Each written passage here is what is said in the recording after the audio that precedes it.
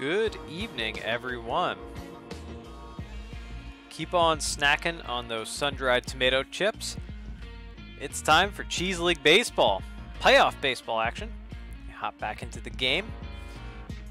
And tonight we have, make sure that everything is working. I had a couple of technical difficulties before we started up tonight, but no worries. Busy day here at Cheese League headquarters. But uh, we're all good now.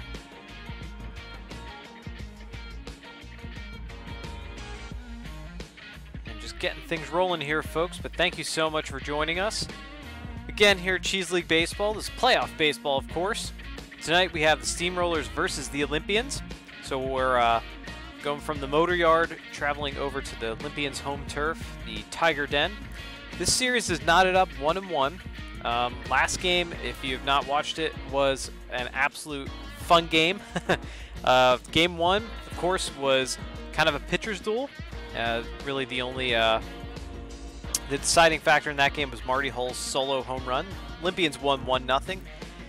Uh, last game, it was quite interesting. The Steamrollers bats really, really came alive. Um, and, you know, Hoots Elliott came in in relief of, of uh, Damian Hale. Ariela Fuentes pitched pretty good. Um, but then the Rollers won on Kurt Johnston's two-run homer, walk-off home run. They won 5-4, and that's where we land ourselves here tonight. So, as you can see, a little preview here. We have Bud Benetti on the mound for the Steamrollers, and Wilder Bobbert gets the ball tonight for the home team Olympians. A couple of notable players. Uh, of course, Chuck Rocket hitting 600 so far for the Steamrollers this series. Jericho Dozen Rolls doesn't have a hit yet, unfortunately, and Banjo Crane has been struggling too. So to see how they play out. On the Olympian side, things are a little bit better. Bernal, Hull, Booper, all hitting pretty well. So something to uh, keep an eye on as we go throughout this game. And we are going to get right into it. Go to the Tiger Den. And I hope you guys are having a great day. I'm excited for this game. It's going to be interesting to see maybe how the, the Olympians play on their home turf. We'll see. And like I said, those Steamroller bats came alive last time, so we will see what happens. Here we got a look at the starting lineups. Actually, not too much movement in those lineups. It's been pretty steady. A Dozen rolls, Crane and Proctor leading it off here for the Steamrollers in the top of the first. Jericho dozen rolls. I mentioned he's still looking for her, his first hit. And here's Wilder Bobbert. That one's fouled down the line. Wilder Bobbert, four-seamer slider curve. Changeup also throws the fork ball. And that one is hit. Nice diving catch there by Liam Bowles. For out number one of the ball game. Here's Banjo Crane.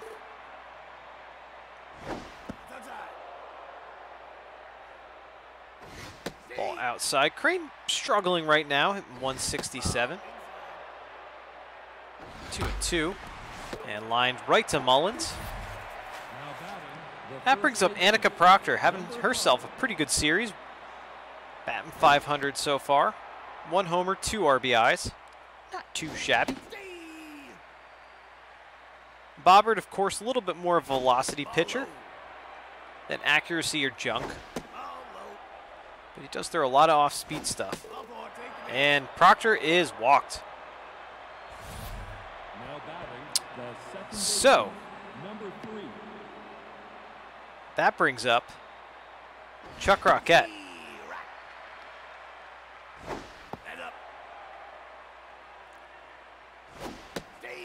And one and two on Rocket.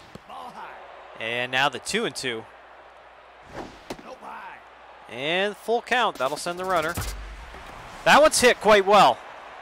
Going. Going. Gone. Chuck Rocket. Two-run homer. 411-foot shot. His first homer of the playoffs and second RBI So the Steamrollers take the early 2-0 lead. And it looks like we're having a little technical difficulties. It looks like the uh, Steamrollers uniforms aren't fully populating. It's quite odd. It's something we'll have to fix in between games this evening. 2 and 2 right now, and Kurt Johnston popped up. Marty Hull's there with the third out, but the Steamrollers get two runs here. They lead it 2 nothing. Go to the bottom of the first. And Gertie Booper's going to lead it off here for the Olympians. Take a look at Bud Benetti, and Booper quickly pops that one up. High, high, high fly pop up. And Rocket puts that one away for the first out. Here's Ellie Mullins having an exceptional series. 429. A lot of hits there for Mullins over these past couple games. It's grounded to Madden. And there's out number two. And Bernal steps in. 429, one RBI so far this series. Big looping curveball. Benetti has the curve, change, slider, four-seamer, two-seamer. A lot of options. More of a junk velocity pitcher. And he's walked. So, Bernal on first. That brings up Marty Hull. Marty has a home run this series, and he goes. And good dig there by Chuck Rocket. They get him at second base. Six, seven, eight hitters due up now. Here's Shepard Pace for the Steamrollers.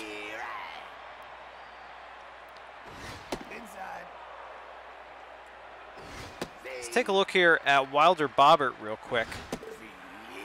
And got him. Shepard Pace down, down looking. Here's Hudson Hopkins. Wilder Bobbert during the regular season was not the steadiest arm as that's a base hit up the middle for Hopkins. So a little one out base hit here. Xerox Madden steps in. For the Rollers. Wilder Bobbert was 0-2 on the season. An 8.14 ERA. And 12 strikeouts. 1 and 2 now Madden. And got him little high for my liking, but uh, that's how it goes. Here's Kai Best. Grounded right back to Bobbert for the final out of the inning.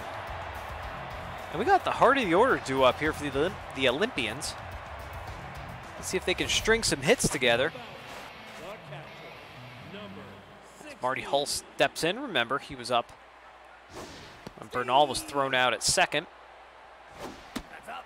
High, high, high pitch. 97 on the gun there from Benetti. Oh boy, that big looping curve. Goes 97 on the fastball to 90 on the curve, or to 80 on the curve. That one's hit quite well. That's carrying. That's going to be, oh, off. Oh, no. Dozen Rolls catches it. I thought that was actually off the wall. I thought he played it off the wall, but Instead, it's just a very long out. And here's Joy Trickster. Swings through that one. Fouled away. Shattered bat. Pop up. Kai Best is there. Puts it away. That's out number two. Here is Spencer Panada. Olympian's first baseman. Packed house here tonight at the Tiger Den. As that one's fouled away, you can see. Grounded. Rocket. Fields. Fires. There's out number three. Here's a good shot of the Tiger Den. Very, very packed house here.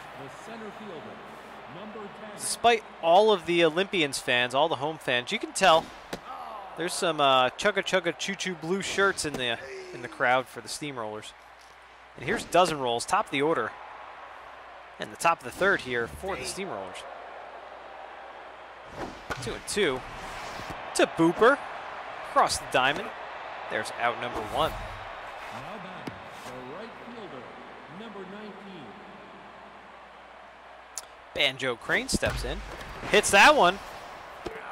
Right to Bernal with a little basket catch. Remember, kids, if you're playing at home, the ball's above the waist, thumbs together, below the waist, pinkies together. So I catch the basket catch. One and one now to Proctor. Ball outside, two and one. Three and one. Good hitters count. And she is walked. That was a pretty close pitch. Tough to lay it off, but now batting, the second baseman, number Here's Chuck three. Rocket. He had a homers last time up. He is having an exceptional series so far. And they check on the runner. Safe. Yeah, Proctor runs quite well over there at first. And that crosses up Hull. Runner gets the second. So two outs. Runner in scoring position here for Chuck Rocket. Chance to do a little more damage. Oh, 2-1. And now the 2 and 2 pitch. Bobbert delivers. Got him. Tied him up high and inside. Good pitch selection there from Wilder Bobbert. Bottom part of the order due up now for the Olympians. Uh, bottom of the third, not the top of the third. The bottom part of the inning. Here's Bud Benetti. Check on him as Banjo Crane fires in. Kellen Getrek getting the start today. In left field, his first at-bat of the playoffs. Of course, utility player. Let's see if, I believe that's Shaw at first. Let's see if he runs. So Benetti, I was saying, was 2 and 3 in the season, 3 point, and they check on the runner. 2 and 3, 3.38 ERA with 20 strikeouts, and there's a strikeout right there. Getrek down on strikes. And Liam Bowles steps in. Oh, they catch him. And he's caught in a rundown. And Proctor tags him out. Oh boy, that's a big, big mistake there for the Olympians. Home crowd did not like that. One and one on Bowles, and there's high 95. Boy, Benetti has a lot of movement. That's hit the pace. Benetti has a lot of movement on those pitches. He's really, really locked in tonight. Johnston leads it off now here in the top of the fourth. Five, six, and seven do up for the Steamrollers. Walter Bobbert, 52 pitches. Looking pretty good. No real movement on his meters. That one's popped up and gets off the screen. The one-two pitch. Past the diving Bobbert. And there's out number one. Here's Shepard Pace. Number 4. Oh for one today.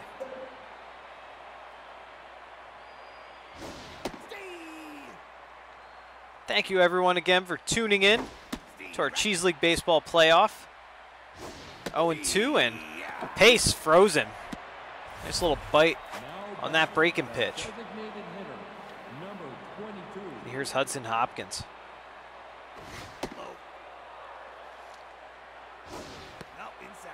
Two zero to Hopkins, and there's a high ball three, and he's walked. So Hopkins on first. Xerox Madden steps in, 0 for 1 today.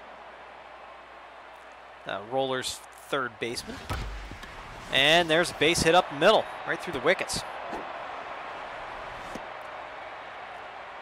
So two on, two outs. Kai Best steps in. He's 0 for 1 so far today. Rollers catcher.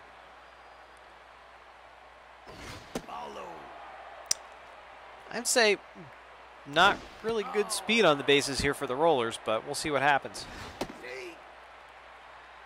The 2-1 pitch popped up very, very high.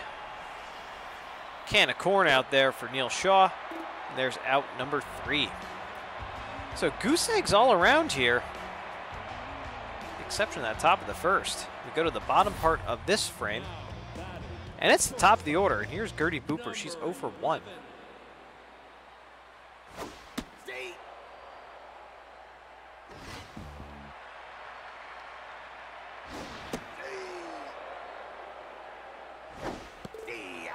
Got her. Booper. Down on strikes. I said, Benetti, 20 strikeouts this season. So real good. One of these really, really good strikeout pitchers that the uh, Rollers rotation has. Um, they just have an exceptional rotation. It's Ellie Mullins. Looks at a strike at the knees. And that's hit. That's going to be off the wall. Oh, no, it's not. Wow, Kurt Johnston there. I completely misjudged that. So instead of what I thought was going to be a little one out double, now two outs, and Bernal steps up to the plate. And that one is hit back to Benetti. Oh, who's covering? Who's covering? And they get the third out. Whew, man, that's as a as a first baseman, you see that you know people got it taken care of. Your job's to co cover the bag. So that was almost a costly error there. But nonetheless, rollers get out of it. And dozen rolls pops up to Shaw. Takes that little drop step and Fields. So one out. 0 for 2 is Banjo Crane. He needs to get hot during these playoffs. There's foul ball. And that one drops in for a base hit. So right on cue, Banjo Crane, one out base hit. Here's Annika Proctor. She walked twice so far today. And we're having a pitching change here, folks. Al Alberto Blaze comes in in relief of Bobbert. And we saw Blaze in game number one. Mullins with the diving stop to Booper, and that's all they're going to get. I actually thought that might have snuck into uh, right field. So two outs. Runner, very good speed there at first base. Chuck Rocket steps in. Switch hitting Chuck Rocket. And apparently we have this issue. There we go. so one of my workarounds for when I was having uh, technical difficulties. That one is fouled away. Two and two on Rocket. And folks, you can't can't make up this stuff. It's it's live baseball. That one is gonna get off the. oh no, it's not. Man, I'm I'm judging all of these balls quite poorly tonight. I thought for sure that was off the screen. Anywho, we go to the bottom of the fifth. It's the heart of the order up for the Olympians. Let's see if they can really get something going here. Marty Hull steps up to the plate. 0-2 on him quickly. And grounds right to Proctor for the first out. Here's Joy Trickster. 0 for 1 today. Boy, very high. That must have crossed up uh, best behind the plate. Fouled away. One and two. Benetti working, uh, being very economical out there. Strikes are out. He's at 52 pitches, so pretty darn economical. 53 pitches. As Panada steps up to the plate. Panada's looking tense in a rough series so far. Skies that one. That's going to get into the stands. 0 and 2. And, oh, off of Proctor's glove. And Crane overshoots. And Panada goes to second. So little uh, little league style baseball happening here for the Rollers. That puts a run in scoring position for the Olympians. Here's Neil Shaw. And there's a foul ball. The one-two pitch. High and inside, two and two. And ooh, almost got him chasing. Full count. Oh, oh, right back to Benetti. Uh, oh, oh no. Right back at Benetti, The left fielder. Now and that is not good. He is very hurt. Extreme pain. Brash Nixon comes in, and there's the final out. But Benetti hit by a pitch, a comebacker, exactly what happened to Finley Oldham in game number one.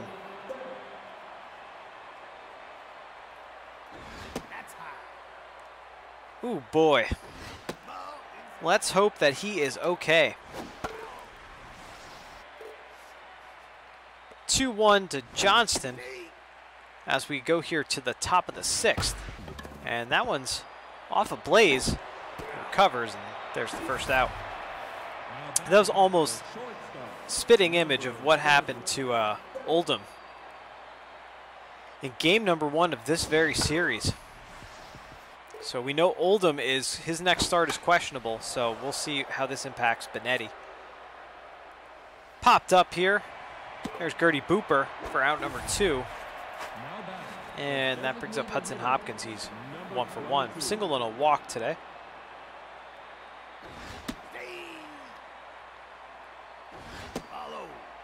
Ninety-five in the gun there from Blaze. Steady arm out of that Olympians bullpen. There's a strike, two and two. And got him. High cheddar to get Hopkins. Liam Bowles, and then top of the order, folks, for the Olympians. Let's see if they can do something here. Get something moving. And uh, we're going to have Kurt Johnston pulled from the game. Alfio Miller comes in, and that's a base hit for Bowles to lead off the bottom of the sixth. Here's Gertie Booper, top of the order, 0 for 2 today. She is due, and that one uh, crosses up Kai Best. So runner in scoring position now for Booper and for these Olympians. There's a good pitch. Good pitch there from Nixon. And boy, Booper all out in front of that. I think that actually might have been a mixed signal there between Nixon and Best because that crossed him up real bad behind the plate. Full count. And Booper is walked. So this is interesting. Runners in the corners. Ellie Mullins up. She's hitting quite well so far in these playoffs.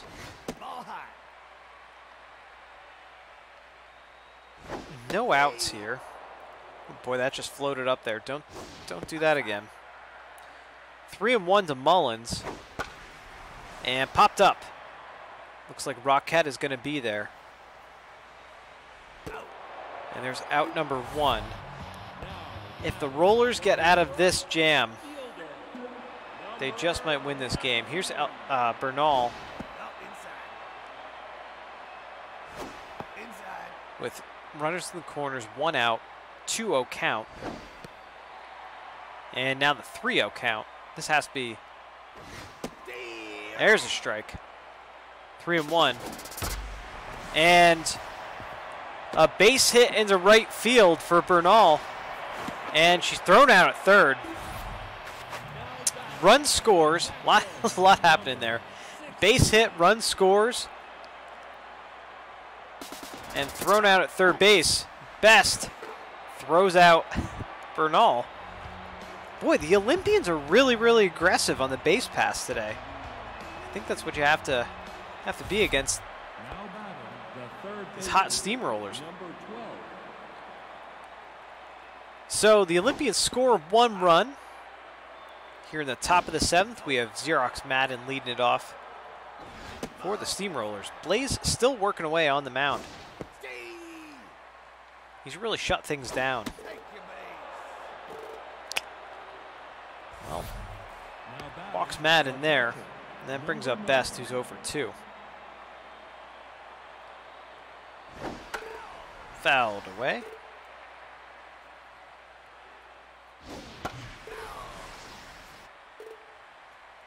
Just making myself a note. One and two now on Kai Best. Fouls that one away into the crowd.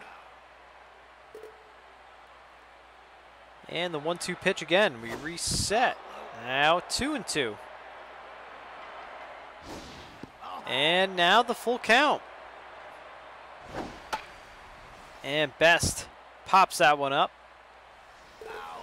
And that one gets off the screen. So we reset here. And he's walked. So runners on first and second. Here is Jericho dozen rolls, and now we're going to have a pitching change. Adam Bugles comes in, the long man for the Olympians, and oh, dozen rolls shows a bunt, pulls back though. There's a strike. Two and one.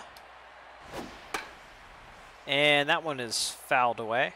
Doesn't look like Hull's even going to go after it. Just gave up on it. Two and two.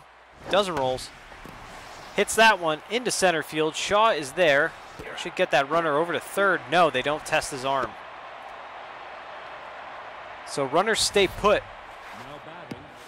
And here's Banjo Crane. One for two today. Looking tense though. That one's lined right to right to Bowles. And Annika Proctor steps in with two outs, runners on first and second. That one's lined over the Olympians' dugout. And quickly 0-2 on Proctor. And a base, no, Booper with the diving stop. Thought that was gonna get just out of her reach. So the Steamrollers strand a pair of runs. This is the Olympians' last shot now. And let's see. They're sticking with Nixon. I was actually thinking that the Rollers manager, that's a base hit up the middle. So that's Marty Hull, base hit. I believe that was Marty Hull. Yes, it was. And that brings up the dangerous Joy Trickster. Hit quite well. It's going to be off the big wall. Crane fires into second, safe.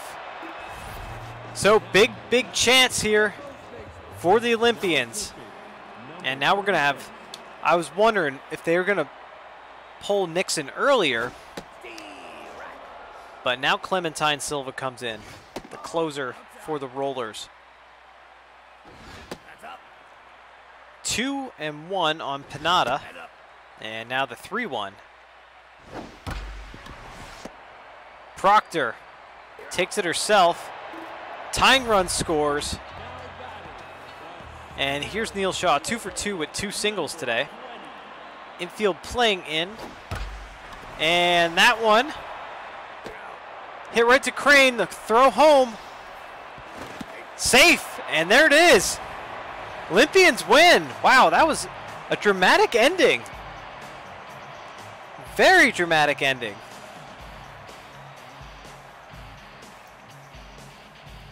So two games in a row now. Whereas one, the very last inning. Last half of the inning. Sorry, just making myself a note here, folks. Holy cow. How about that? Let's take a look here at the lines. 2 4 and 1 for the Steamrollers, 3 7 and 0 for the Olympians. have a look here at the offense. Not a lot of offense for the Rollers. You know, they were really, really hot. Thought things might be picking up for them at, toward the, the end of the last game. But their bat's kind of silent today, with the exception of Chuck Rocket and his two-run homer. You know, Crane, Rocket, Hopkins, and Madden did all the hitting. They had five strikeouts and five walks. So on the Olympian side, Hitting coming from, well, Neil Shaw had a great game, let's just say that. Two for two with an RBI. Panada, one for three. Trickster, one for three. Hull, one for three. Bernal, one for two. And then also Bowles, one for two. Three strikeouts and two walks on their side. So Bugles gets the win, comes in and pitches like I pitched an inning, that was it. and then Nixon will get the loss. Unfortunate for him. Though Clementine Silva did come in and really couldn't lock things down. Silva, not the most solid closer for the Steamrollers, but uh, but that's how it played out. Let's take a look at our top three players. Chuck Rocket, of course, one for three, homer, two RBIs in a run. Bud Benetti, look at this, Bud Benetti, four and two-thirds innings pitched, three hits, one walk, three strikeouts. We'll have to keep an eye on, on that. I'll let you guys know what's going to happen with Benetti. He left the game in extreme pain after that comebacker, so see what's going on with his next start if it gets to that point. And then Neil Shaw, of course, two for two with the RBI and the game-winning hit. All right, folks, that is how this game ends. So the Olympians now lead the series 2 to one. So they just need one more win. Of course, it's a best of five. Uh, one more win, and they could lock this one in go to play for the Cheese Cup. All right, so that's how that game plays out. Our next game, give you guys a little preview. Of course, we're going to start that game in exactly a half hour. it's the Marauders versus the Rampage. We're going to the Bingata Bowl in the Dome on the turf. We're going to have Chip Oliver versus Alonzo Kramer. And uh, yeah, we'll go through some of the notable players and I'll give you some other insights. Maybe at that point I'll hear what's going on with Benetti. But uh, keep it tuned here. Um, yeah, join us back here on Geek Cheese in exactly a half hour for Marauders vs. Rampage. Thank you so much for watching, folks. And we'll see you in a little bit. Check soon. Bye.